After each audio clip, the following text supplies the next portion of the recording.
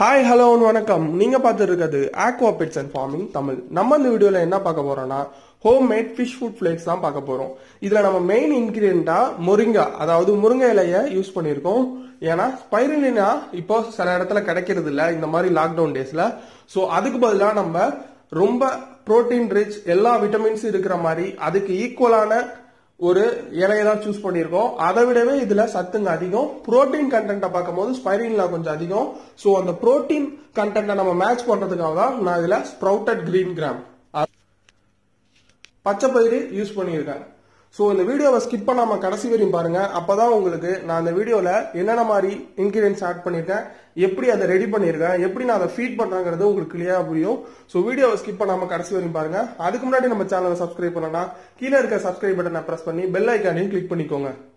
இந்த முருங்கை இலையில இருக்கிற சத்து ரொம்பவே அதிகம். எல்லா விட்டமின்ஸும் இருக்கு. மெக்னீசியம் கால்சியம் பாஸ்பரஸ் எல்லாமே இருக்கு. அதே மாதிரி இது ஃபெர்டிலிட்டியை இன்க்ரீஸ் பண்ணும். இது ஃபெர்டிலிட்டி இன்க்ரீஸ் பண்ற மாதிரி கலரையும் நல்லா பூஸ்ட் பண்ணி கொடுக்கும். ஃபிஷஸோட இம்யூனிட்டியும் அதிகப்படுத்தும். அதனால தான் நம்ம இந்த முருங்காவை யூஸ் பண்ணுறோம் ஸ்பைரல் நாக்கு அப்படியே ஆல்டர்னேட்டிவாக இப்போ அடுத்தது கோதுமை மாவும் கொண்டக்கடல மாவும் நான் எடுத்திருக்கேன். கொண்டக்கடலைய லைட்டாக வறுத்துட்டு அதை பொடி பண்ணி வச்சுக்கோங்க. அது ஒன்றரை ஸ்பூன்னா கோதுமை மாவு ஒன்றரை ஸ்பூன் அதை எதுவுமே பண்ணவனா அது ரா கோதுமை மாவே நம்ம யூஸ் பண்ணிக்கலாம். அதை வந்து ரெண்டுத்தையுமே ஒன்றரை ஒன்றரை. இது ஒரு பங்குனா அது ஒரு பங்கு. அதை ஆட் பண்ணிக்கோங்க. இது ஏன்னா நம்ம ஃபிஷ் ஃபுட் ஃபிளேக்ஸோட கன்சிஸ்டன்ஸ்க்காக அதே மாதிரி வீட் ஃபிளார் வந்து அதாவது கோதுமை மாவு வந்து ஃபைபர் இருக்கிறதுனால நம்ம ஃபிஷஸ்க்கு ஈஸியாக டைஜஷன் ஆகும்.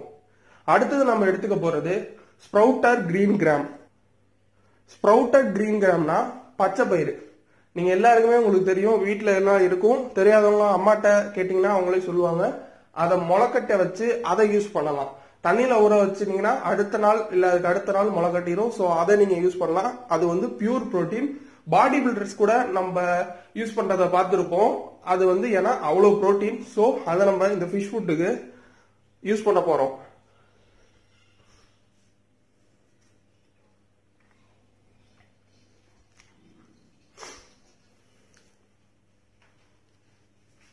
இப்போ புரோட்டீன் கண்டனுக்கு நம்ம எல்லாமே யூஸ் பண்ணியிருக்கோம் கொண்டக்கடலை மாவுலேருந்து பச்சை பயிர்லேருந்து முருங்காலேருந்து எல்லாமே புரோட்டீன் கண்டன் ஸோ இந்த ஃபிஷ் ஃபுட் வந்து உங்களுக்கு புரோட்டீன் ரிச்சா இருக்கிற மாதிரி நம்ம இதை டிசைன் பண்ணியிருக்கோம். இதை நம்ம எல்லா விதமான ஃபிஷஸ்க்குமே ஃபீட் பண்ணலாம். ஆனால் மான்ஸ்டர் ஃபிஷ் வந்து இது அவ்வளோவா எடுக்காது. ஸோ சின்ன சின்ன fishes guppy molly tiger barb tinfoil barb எல்லாத்துக்குமே நம்ம ஃபீட் பண்ணலாம். அது எப்படி எடுக்கிறதுங்கிறத பொறுத்து நம்ம அதுக்கு கண்டினியூஸாக ஃபீட் பண்ணலாம். அடுத்தது கார்லிக் கார்லிக்கை பற்றி எல்லாருக்குமே தெரியும். நம்ம ஃபிஷ் ஆப்பில் அது எவ்வளோ முக்கியம்னு தெரியும். இதை டிவாமராகவும் யூஸ் பண்ணுவாங்க. அதே மாதிரி உங்களுக்கு இம்யூனிட்டி பூஸ்ட் பண்ற ஒரு மெட்டீரியலாகவும் இதை யூஸ் பண்றாங்க. இப்போ முளைக்கட்டின பச்சை பயிரையும் அந்த மொரிங்காவோட இலைய உதிர்த்து வச்சுக்கிட்டு அதையும் இந்த கார்லிக் இந்த மூணுத்தையுமே நம்ம அவிச்சு அரைக்க போறோம். அதை எப்படி பாயில் பண்ணலாம் அப்படிங்கிறத பார்ப்போம். ரொம்ப போட்டு அவிச்சிடக்கூடாது. ஃபிஃப்டி பர்சன்ட் குக் ஆனா போதும். ஏன்னா அப்பதான் அதுல வந்து கொஞ்சம் நம்மளுக்கு சத்து தேங்கி இருக்கும். நம்ம அவிக்கிறதுனால அதுல வந்து சத்து எதுவும் வீணா போகாது. இருந்தாலும் நம்ம அதை கரெக்டா யூஸ் பண்ணிக்கணும். நான் நான் ஒரு பவுல்ல ரெண்டு டம்ளர் தண்ணி ஆட் பண்ணிக்கிட்டேன். தண்ணி ஆட் பண்ணி இந்த பொருள்லாம் அதுல போட்டு ஸ்லோ ஃப்ளேம்ல குக் பண்ணேன். ஏன் நான் ஸ்லோ ஃப்ளேம்ல குக் பண்றேன்னா அதோட புரோட்டீன் லெவலா இருக்கட்டும் இல்ல அதோட சத்துங்க எதுவுமே அதிகமா எவாபரேட் ஆகாது. அதுக்குள்ளேயே இருக்கும். அந்த நம்ம பாயில் பண்ற ஸ்பேஸ்க்குள்ளேயே அந்த எப்பவுமே நம்ம வீட்டுல சாப்பிட்ற சாப்பாட்டுலயே நம்ம பாத்திரம் அதாவது இரும்பு பாத்திரத்துல நம்ம சமைக்கும் போது நாற்பதுல இருந்து ஐம்பது பர்சன்ட் ஆன சத்து வந்து வெளியே போயிடும் அதுல நம்ம சமைக்கிறதுனால. மண்பானையில சமைக்கும் போது தான் அதுல இருபதுல இருந்து முப்பது பர்சன்ட் தான் வெளியே போகும். ஸோ அந்த மெத்தட் தான் இதுல யூஸ் பண்ண போறோம். ஸோ இந்த மாதிரி ஸ்லோவா நம்ம குக் பண்ணும்போது அதோட ப்ரோட்டீன் லெவல் எதுவும் அவ்வளவா எவாபரேட் ஆகாது.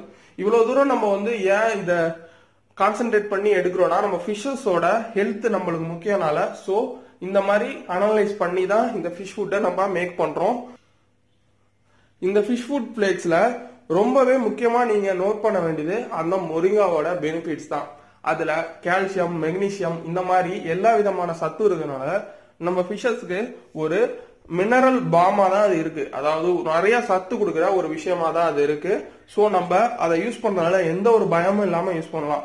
முக்காவாசி கப்பி ப்ரீட் பண்றவங்க ஃபேன்சி கப்பி ப்ரீட் பண்றவங்க இந்த மொரிங்கா பவுடர் கண்டிப்பா யூஸ் பண்றாங்க. ஏன்னா அவங்க வந்து ஃபீடு வாங்கி அதாவது பெல்லட்ஸ் வந்து நம்ம கடையில வாங்கி ஃபீட் பண்ணி அவங்களுக்கு அது கட்டுப்படி ஆகாது. ஸோ இந்த மாதிரி ஹோம்மேட் ஃபிஷ் ஃபுட் ரெடி பண்ணி அதை தான் ஃபீட் பண்ணுவாங்க. ஸோ நீங்க தைரியமா இதை நீங்க யூஸ் பண்ணி பார்க்கலாம். இப்போ நான் அவிச்சிட்டேன். பதினஞ்சுல இருந்து இருபது நிமிஷம் வரையும் அது குக் பண்ணதுக்கு அப்புறம் நம்ம அதை தனியா எடுத்து வச்சு ஆற விடணும். ஒரு பத்துல இருந்து இருபது நிமிஷம் வரையும். அது நல்லா ஆறினதுக்கு அப்புறம் ஒரு ஜார்ல அதை போட்டுட்டு அப்புறம் நம்ம மிக்ஸ் பண்ணி வச்சிருக்க அந்த கோதுமை மாவு அப்புறம் அந்த கொண்டக்கடலை மாவு எல்லாத்தையும் அதில் கொட்டி அரைச்சி எடுத்துக்க போகிறோம் அவ்வளோதான் ப்ராசஸ் இதுதான் குக்கிங் பண்ணுற ப்ராசஸ் இப்போ இதை எப்படி ட்ரை பண்ணுறோம் அதை எப்படி நம்ம செப்பரேட் பண்ணி நம்ம ஃபிஷஸ்க்கு எந்த ஃபார்மில் ஃபீட் பண்ணுறோங்கிறத நீங்கள் கிளியராக பார்க்கலாம். நல்லா அரைச்சி ஒரு பேஸ்ட் ஃபார்மில் அதாவது தண்ணியாக இருக்கக்கூடாது அதே மாதிரி ரொம்பவும் கெட்டியாக இருக்கக்கூடாது. அந்த ஃபார்மில் அதை நம்ம அரைச்சு வச்சுக்கணும். அப்போ தான் அது சீக்கிரம் காஞ்சி நம்மளுக்கு ஃபுட் ஃப்ளேக்ஸாக மாறும். நம்ம ஃபுட் ஃப்ளேக்ஸை நம்ம கடையில வாங்குற அளவுக்கு எதிர்பார்க்க முடியாது. ஏன்னா நம்ம அது ஹோம்மேடா பண்றதுனால ப்ரெஷர் கொடுக்க மாட்டோம். அவங்க ப்ரெஷர் பண்ணி அது ரொம்ப தின்னா ஆகுவாங்க. நம்ம அந்த மாதிரி பண்ணாம ஒரு ட்ரேல அதை ஊத்தி பரப்பி வச்சு அதை சன்ரைட் பண்ணி நம்ம ஃபிஷ்ஷஸ்க்கு ஃபீட் பண்ண போறோம். இந்த மாதிரி சன்ரைட் பண்றதுனால நம்மளோட ஃபிஷ் ஃபுட்டோட புரோட்டீன் கண்டென்ட்டா இருக்கட்டும் இல்ல மற்ற விட்டமின்ஸா இருக்கட்டும் ரொம்ப எவாபரேட் ஆகாது. அதனால நம்ம சன்ரைட் பண்றது தான் பெஸ்ட் அதே மாதிரி நம்ம ரொம்ப நாள் யூஸ் பண்ணணும்னா சன்ரைட் பண்றதா ஒரே மெத்தட் ஸோ நீங்க சன்ரைட் பண்ணி எடுத்துக்கோங்க. ஒரு நாள்லேருந்து ரெண்டு நாள் வரையும் ஆகும் உங்கள் வீட்டில் அடிக்கிற வெயில பொறுத்து அந்த ஏரியாவில் இருக்கிற டெம்பரேச்சர் பொறுத்து அது சீக்கிரம் சுருங்கி போய் ஃப்ளேக்ஸாக மாறும். ஸோ ஒன்லேருந்து டூ டேஸ் வரையும் நீங்கள் சன்ரைட் பண்ணி அப்புறமேலும் உங்கள் ஃபிஷஸ்க்கு ஃபீட் பண்ணுறது ரொம்ப நல்லது. என்ன கேட்டால் அந்த பாத்திரத்தில் ஊற்றி அதாவது ஒரு தட்டில் ஊற்றி பரப்பி பண்ணுறதோட ஒரு பிளாஸ்டிக் பேப்பரில் பண்ணீங்கன்னா உங்களுக்கு எந்த ஒரு டிஸ்டர்பன்ஸும் இருக்காது. ஏன்னா இந்த தட்டில் பண்ணும் போது கொஞ்சம் ஸ்டிக் ஆகும். அதை நம்ம சுரண்டி எடுக்கணும். ஸோ அதனால நீங்க ஒரு பிளாஸ்டிக் பேப்பர்ல பண்ணா இன்னும் பெஸ்ட் இப்போ சுருங்கிருச்சு. சன்ரைட் ஆனதுக்கு அப்புறம் இருக்கிற அந்த பேஸ்ட்டை பாருங்க. சுத்தமா ஒண்ணுமே இருக்காது. ரொம்ப மெலிசா இருக்கும். நம்ம நம்ம சும்மா அந்த கையை வச்சு பிச்சா கூட அது வராது. ஸோ நம்ம கத்தியை வச்சு அதை ஸ்க்ரப் பண்ணி அதை நோண்டி எடுத்துட்டோம்னா நம்மளுக்கு ஃபிஷ் ஃபுட் ஃபிளேக்ஸ் மாதிரி வந்துடும் அந்த மாதிரி வந்த ஃபிஷ் ஃபுட் ஃப்ளேக்ஸை பாருங்கப்பா எப்படி அது இருக்குன்னு அதோட டெக்ஸ்சர் கொஞ்சம் ரஃபாக தான் இருக்குது நம்ம இதை அதனால் நம்ம ஃபிஷஸ்க்கு ஃபீட் பண்ணுறதுக்கு முன்னாடி தண்ணியில் கொஞ்சம் ஊற வச்சு ஃபீட் பண்ணால் அது சாப்பிட்றதுக்கு ஈஸியாக இருக்கும். அதை நான் எப்படி பண்ணுறதுன்னு இந்த வீடியோவில் சொல்லியிருக்கேன். கடைசி வரையும் பாருங்கள் இந்த ஃபிஷ் ஃபுட் ஃப்ளேக்ஸை ஏர் டைட் கண்டெய்னர் ஏதாவது ஒரு air- அதாவது காற்று புகாத மாதிரி ஒரு கண்டெய்னரில் போட்டு மூடி வச்சுக்கோங்க. ஒரு டப்பாவில் போட்டு மூடி வச்சுக்கோங்க. நீங்கள் கடைசி வரையும் அதை யூஸ் பண்ணலாம். இப்போது நான் கொஞ்சம் ஃபுட் ஃபிளேக்ஸ் எடுத்து தண்ணியில் ஊற வச்சு நம்ம ஃபிஷஸ்க்கு கொடுக்க போகிறேன் ஒரு முப்பது செகண்ட் வரையும் அதை ஊற வைக்கலாம். அது ஒன்றும் இதாகாது ஏன்னா அது நல்ல திக்கான கன்சிஸ்டன்ட்ல இருக்கும்.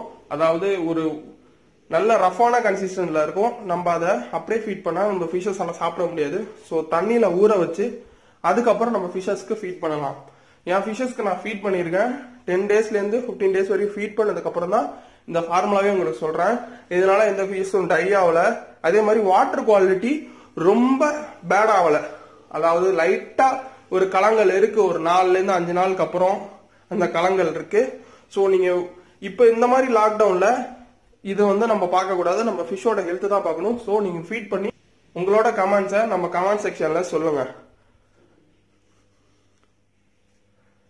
ஹோம்மேட் ஃபிஷ் ஃபுட் ஃபிளேக்ஸை பற்றி ஒரு டீட்டெயிலான ஐடியா. அதோட கம்ப்ளீட் அனாலிசிஸ் உங்களுக்கு நான் அந்த வீடியோவில் சொல்லியிருக்கேன். இந்த வீடியோ பிடிச்சிருந்தா நீங்கள் சப்ஸ்கிரைப் பண்ணுங்கள் அப்புறம் உங்கள் ஃப்ரெண்ட்ஸ்க்கெலாம் ஷேர் பண்ணுங்கள் இந்த மாதிரி லாக்டவுன் பீரியடில் ஃபிஷ் ஃபுட் இல்லாமல் இருக்கிறவங்களுக்கும் ஷேர் பண்ணுங்கள் ரொம்ப யூஸ்ஃபுல்லாக இருக்கும். நீங்கள் பார்த்துட்டு இருக்கிறது aqua pets and farming Tamil. Do subscribe and share